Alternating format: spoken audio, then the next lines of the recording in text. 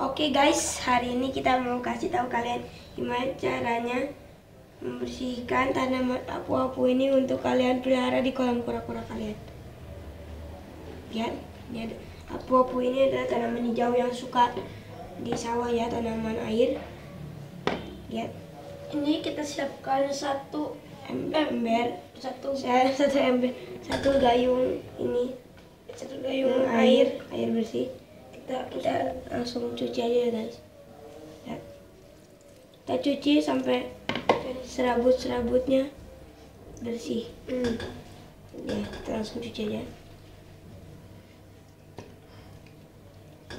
Ini kalau dari sawah kan kotor. kotor banget. Kita harus cuci supaya si kura-kuranya juga tidak Kena kena. pestisida dan lain-lainnya guys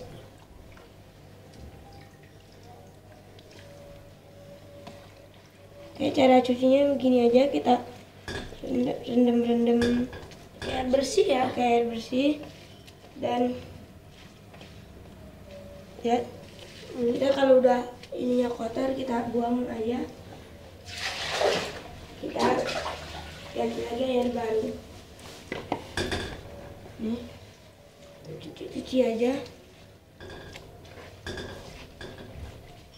Cuci Oke. sampai apa-apanya bersih Kita punya banyak kayak ini. punya banyak apu-apu cuci aja Cuci dulu. Ah. Oke. kita buang dulu nih kotor banget airnya guys kita pakai air bersih aja. Airnya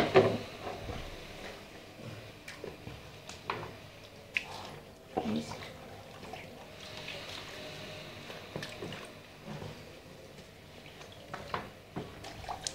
Sampai semuanya ya guys soalnya kalau kura-kuranya kena pestisida mereka bisa keracunan dan mati bisa aja mati.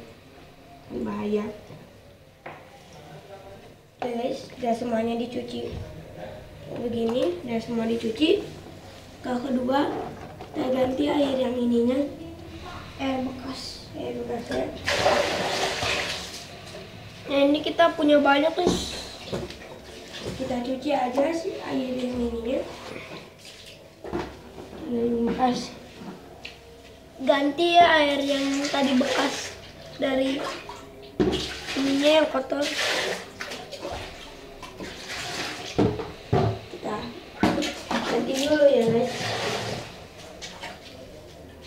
Airnya jangan terlalu banyak. Sudah semuanya bersih dan kita sudah itu airnya kita kembalikan apu-apunya ke sini ke baknya. Sa- pastikan airnya pas dicemplungin apu-apunya sudah jernih ya. Kita itu aja. Masukin. Oke guys, kalau udah dimasukin seperti ini, sudah bersih apu-apunya. Kalian tunggu sampai sehari apu-apunya di ember yang bersih ini. Baru itu sudah aman untuk dimasukin dimasukin ke kolam kura-kura kalian. Segini dulu ya videonya. Bye bye.